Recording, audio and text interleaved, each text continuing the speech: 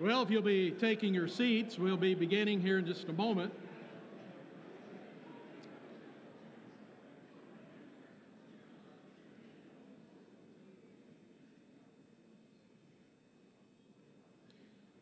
I notice they have the clock positioned just beneath the uh, blinding airport lights. So the speaker cannot see what time it is, so y'all may need to help him to tell him when to quit. I don't know. Russ will be fine with that. I hope you've been enjoying the lecture so far. I think we got off to a great start last night and uh, it's been a fine uh, morning together.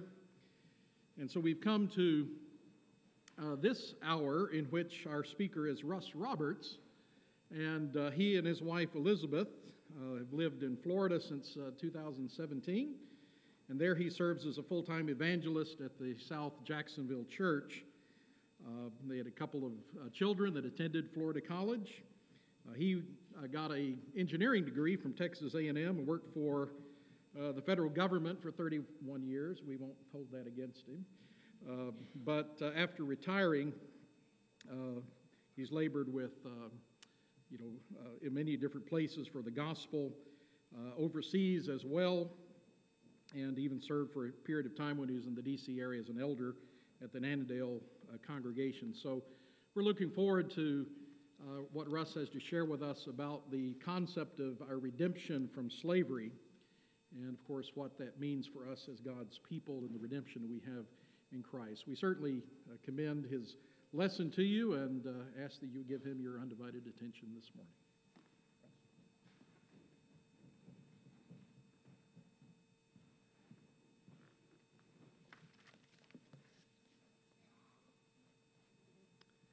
Not everyone feels the necessity to be redeemed. Actually, most people, if you were to talk to them about it, they think it was strange, almost insulting, if you were to suggest that they needed to be rescued from something, to be vindicated and delivered back. And then with the urgency in which we tell them, that's the way we preach the gospel with urgency, that they don't understand what you're saying. We use the term redeemed in our modern vernacular as being rescued, compensated for a past performance, or vindicated. I want to thank, thank Florida College for this opportunity to speak, especially with those that are among the speakers uh, on, on, the lecture this, this time. But I also want to thank Doctors McClister and Hamilton for allowing me to speak as well. Even though David knew me, he asked me to come. I stood right here about 40 years ago, and I am positive that I said something rather goofy several times. So maybe the topic of redemption may not have been a coincidence completely. we will see. But again, not everyone feels the necessity to be redeemed. A couple of years ago, when my wife and I were working in our backyard flower gardens, we heard this strange animal sound. So, as we went closer to this animal, we saw that it was these two beautiful black bellied whistling ducks. And they were wheezing, evidently whistling, because five of their ducklings had fallen down in a drain in our backyard. So I called my friend Mike Smiley, who is here, and my wife. We dug them out one at a time and watched them swim back to their parents that were waiting in the pond behind us. So they were rescued from certain death. They were given back to their rightful owners. So the word today, redeemed, ranges from being able to compensate from a past performance being able to be rescued from a drain, to be able to claim a, a prize from a winning ticket. Another occurrences that we're familiar today is when you buy something online prior to the completion of that transaction, we're often uh, prompted to get uh, have an option to have a uh, to redeem a gift card, so that we bring the cost down. When I was in London, we lived in London, my wife and I, along with several of the other members of, of the congregation there, we went to the theater. That's what they call it there, I think. And boy, was I a fish out of water from growing up in Oklahoma and Texas. I mean, give me a tractor pull or a, a rodeo any day. But we went, and when we went, we went to the concierge and we'd give them our coat or our hat, and they'd give us a ticket. And on the way out, we were able to redeem the things that we had. That's the concept of redemption. And I know most of you in the audience today have talked to people that you feel need to be redeemed, like the ducklings who had fallen down this drain. Because of what the scriptures say, you feel that they are eternally lost without some type of redemption from Jesus Christ. And the most difficult task that I have, at least, talking to the lost, is convincing them of this point. Being able to tell them that they're lost in their sin and have a non relation with God, and they cannot even imagine anything that they have done to initiate this discussion and that you feel like they need to be redeemed. True redemption is available to those who feel that they cannot be escaped on their own. The agony of being trapped with no escape by one's own means, it must be realized. And again, in our Western world, with all the freedoms and personal rights that we have that are protected by strong and fortified governments, most people do not feel any reliance on anything or anybody but their own wits, their knowledge, and their ability. Why should they be redeemed? This morning, we have a story about a people who had to learn the concept of being redeemed. God will not rescue them until they realize the need and ask for it. And we begin with the story, of course, in the book of Genesis, where God had committed to a series of promises through the patriarchal age, through the patriarchal uh, lineage of Abraham, Isaac, and Jacob.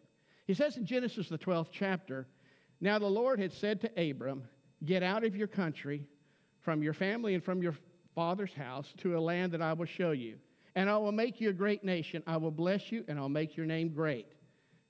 And you shall be a blessing. And I will bless those who bless you, and I will curse you, those who are cursing you. And in you, all the families of the earth shall be blessed. What I'd like to do is talk about two of these promises today. The first promise that we'll talk about, the land promise, and that's what brought them out of the land of Egypt. And then I want to close with a spiritual lesson that we have on the seed promise. And so Jacob, son Joseph, he is sold to a band of uh, Ishmaelites passing by.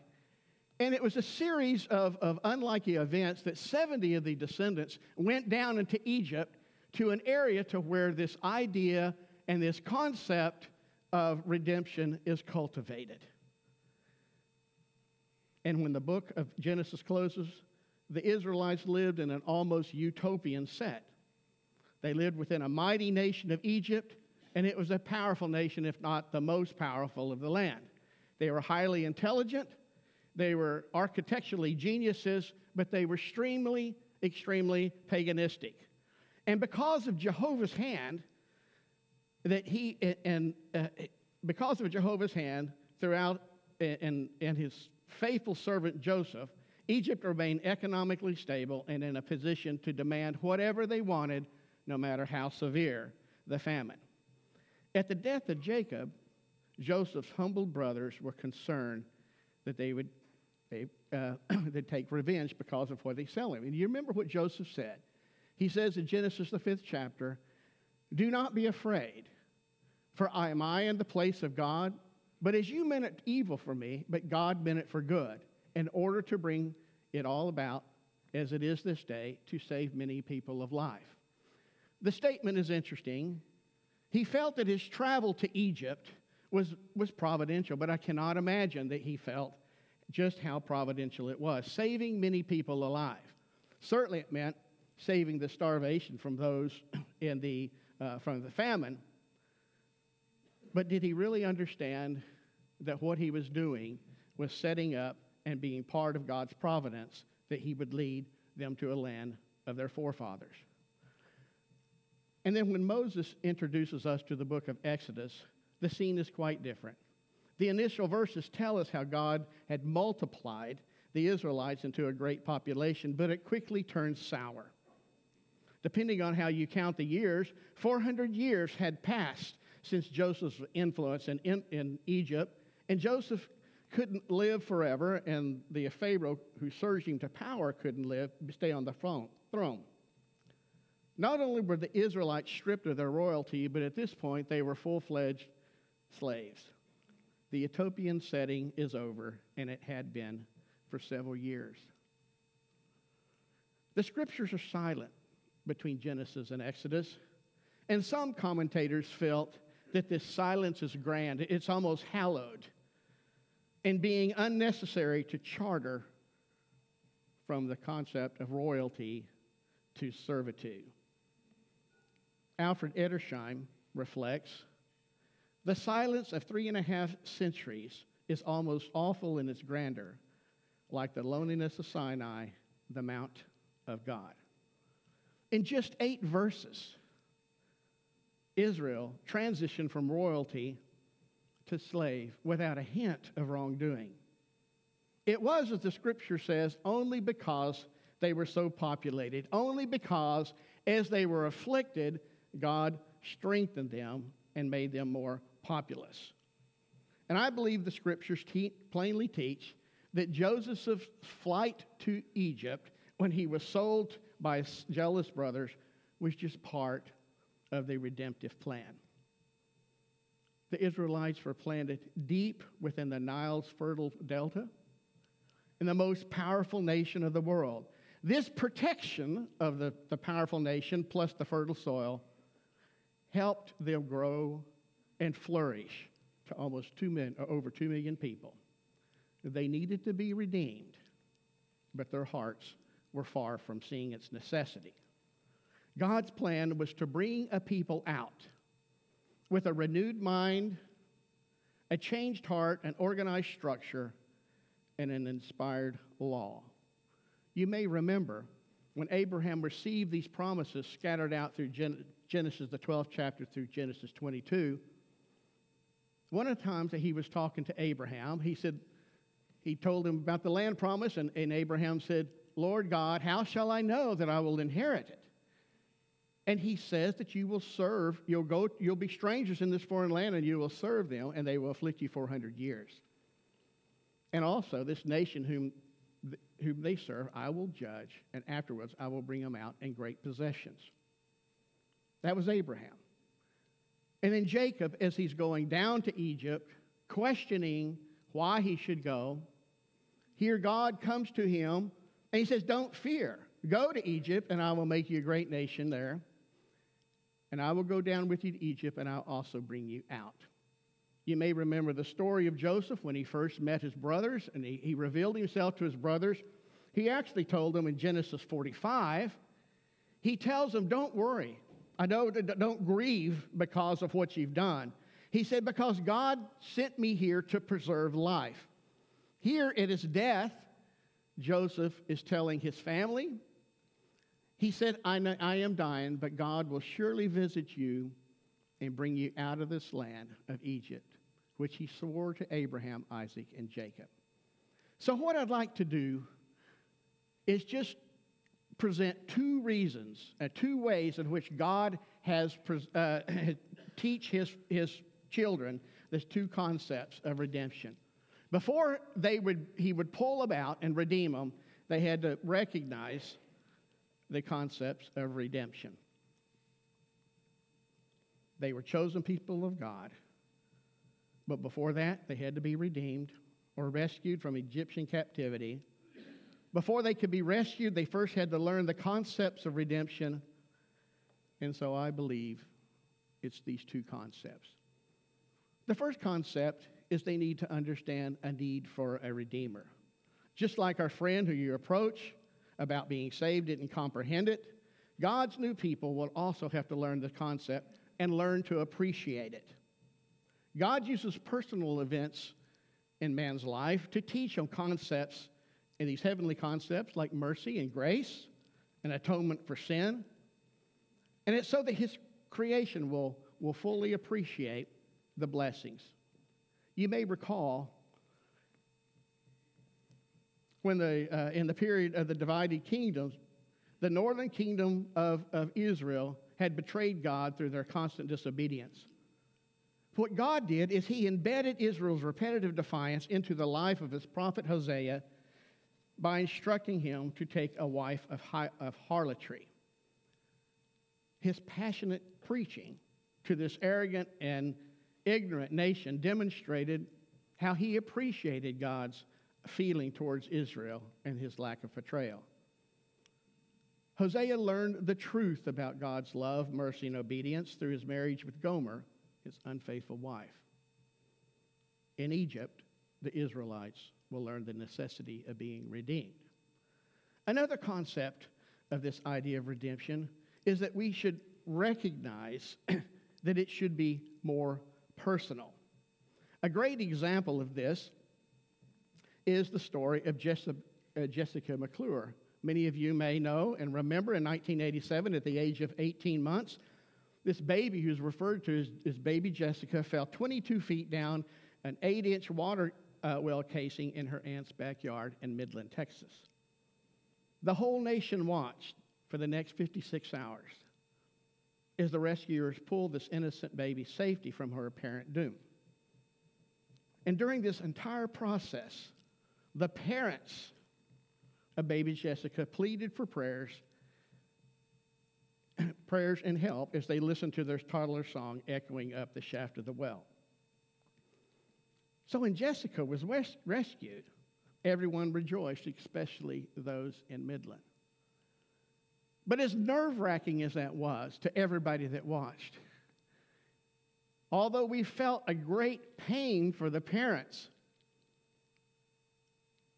our compassion and our sympathy, it was limited.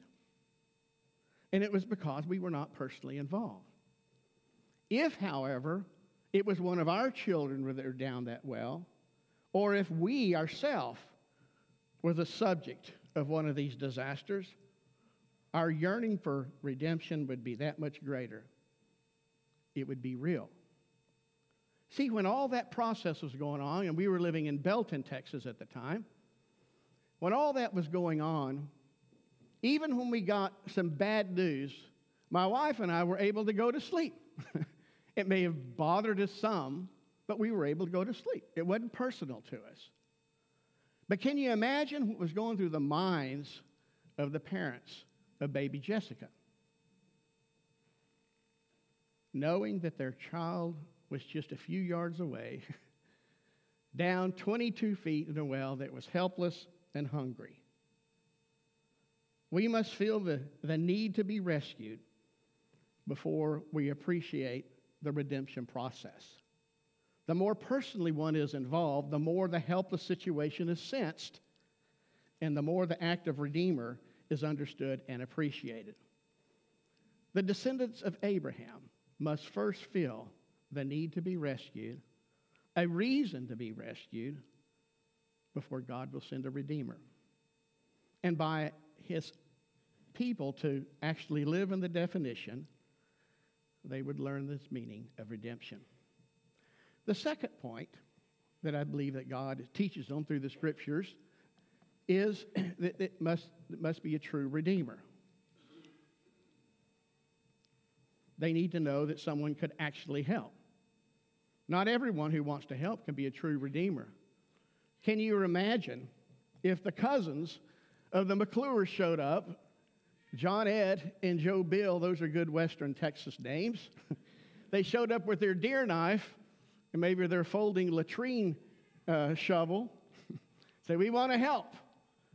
And McClures would say, I need a true redeemer. I need someone that can actually help.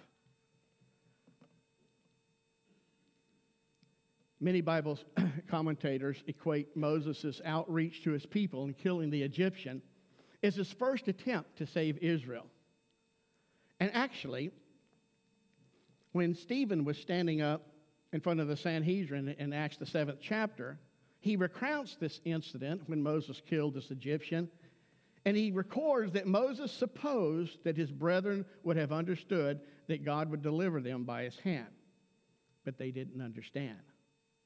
Possibly it was that Moses had all intentions of rescuing them and going to, his, their, uh, to this promised land.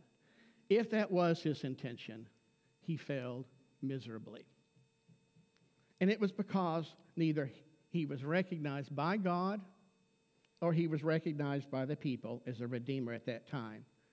But 40 years later, Moses did return, returned to be the redeemer of his people who he had abandoned and this time he came with the authority of God, and this time he did not fail. One more concept of this idea of a true Redeemer. There are a few words in the Old Testament, in the Hebrew word uh, redeem, that has been translated in English redeem. And one Hebrew word for redeem in particular has the meaning of a kinsman redeemer. And it's best illustrated during the study, uh, the story of Ruth. This is a familiar story. And so, but we learn three important aspects of the kinsman redeemer. It shows that the redeemer must have the authority, it shows that the redeemer must have the ability, and it also shows that the redeemer must be willing to do that. And so, when Ruth and her mother in law were childless widows, under the Jewish law, they had no right to property owned by their husband. But the law of Moses did speculate that the nearest kinsman had the responsibility to redeem these women to perpetuate the name of the dead through their inheritance. A wealthy Jewish landowner named Boaz was related to Naomi, but he was not the closest of kin. He had neither the authority nor the responsibility to, to redeem these women. We know at the climax of this story, Naomi's closest relative, who had the authority to redeem, was unwilling to do it because they didn't have the ability due to a certain situation in his inheritance. So Boaz gained, hey, he did have the capacity. He was more than willing. So when the nearest kinsman refused to redeem Naomi, Boaz stooped in. He had the authority and the ability to redeem uh, Ruth, and he was willing, and he, of course, was willing to do that. This is an important concept that we understand through all the scriptures. In the Old, in the Old Testament, it continues to talk about God is, is having this in it being our, a true redeemer. What he says is God has a right to rescue in Isaiah, the 45th chapter, that we understand that, that when Isaiah talks, he talks about God as the great creator. He also has the ability, as Job is standing before God, and he, is he humbly says that uh, I know that, that you can do anything and that no purpose of yours cannot be withheld from you. He has the right and ability, and in Genesis, the sixth chapter, in verses 5 and 6, he is willing to do this. He says, And I have heard the groaning of children of Israel, whom the, Israel, who the Egyptians keep in bondage, and I have remembered my covenant. Therefore, I say to the children of Israel, I am the Lord and I will bring you out of the burdens of the Egyptians. I will rescue you from the bondage, and I will redeem you with an outstretched hand. This word redeem is the same Hebrew word that's been used that has been used in the story of Ruth as the kinsman redeemer. Last night, Brother Ben Hall used this verse, the last two verses of the book of, of Exodus, chapter 2, and he talked about how God's faithfulness uh, to his covenant was never ending. What I'd like to do is look at these two verses in the context of redemption and the purpose and the, uh, and the purpose and the necessity of being redeemed. Here it says in verse 23 of Exodus 2 Now it happened in the process of time that the king of Egypt died then the children of Israel groaned because of the bondage, and they cried out. And their cry came up to God because of the bondage. From the wording of this first part of the verse, it seems that the children of Israel were hanging on by a thread, hoping that this new king, this new Pharaoh, would somehow reduce the, uh, the, the pressure that they had, reduce the bondage. But it wasn't so. The hope, uh, I'm sorry. Let me back up. The hope was be founded on the change of attitude of the new ruler and that he would ease the pain of bondage, even restore the good fortune who was once that they had uh, decades ago. Whomever this Pharaoh was, it was not to be. The Hebrew nation, buried deep in the, in the Egyptian culture, they continued in brutal slavery, and they had lost all sense. In the awakening desire for freedom, the Israelites poured out their remorseful and repentant hearts towards heaven, towards God, towards whom they had become calloused and complacent. God hears their, pri- their cries. And with this divine covenant deeply in mind, he turns to the children of Israel as if to say, That was what I was waiting for. for hundreds of years, that's why I brought you to Egypt, so that I can hear this genuine cries. These cries were an integral part of God's redemptive plan. Slavery uh, affected the effects of their lives, and Israel could not save themselves. Now, the entire Hebrew people understood the need for redemption, and they cried out loud for a redeemer. The spiritual application this morning is very obvious, but, but let's look through it for just a second here. Man cannot save himself. In Isaiah, the 59th uh, chapter, and actually chapters 58 and 59, it's talking about this wall of sin, the transgression between God and his people. And Isaiah writes, he said, and he saw that there was no man and wondered if there it, and wondered that there was no intercessor. Down in verse 20, it uses the same Hebrew word of the, he, of the kinsman redeemer, and it says, The redeemer will come out, come to Zion to those who turn, turn from transgression to Jacob. Here he's not saying that there was no man in, in, uh, in Judah at that time. We had Isaiah, and also at the time in which he's prophesying, there was Jeremiah.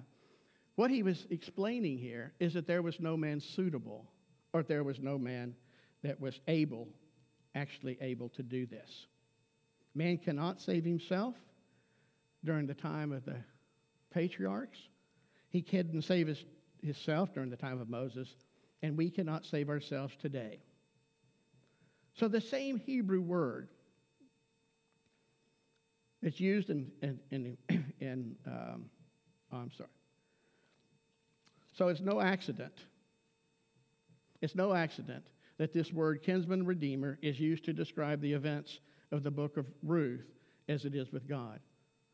After Boaz had gained the right of redemption, he redeemed both Ruth and Naomi by his ability, and willingness. We too have been redeemed we too have a Redeemer who meets the concept of redemption in Jesus Christ. He's been given all authority in heaven and earth. In Colossians, the first chapter, we understand that in all, in, through him, all things consist. Jesus had both the right and the ability to redeem.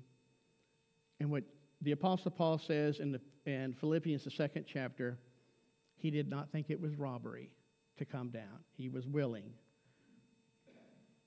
he was willing to redeem. In the Gospel of John, the first chapter, John describes Jesus as God. He says he came down to dwell upon the sinful world to save mankind. God came to earth in the form of a son, both as deity and as man. He served as the nearest kinsman in the flesh and the ability to save as God. Can you imagine what it might have been like when the children of Israel were leaving Egypt? It must have been a solemn scene.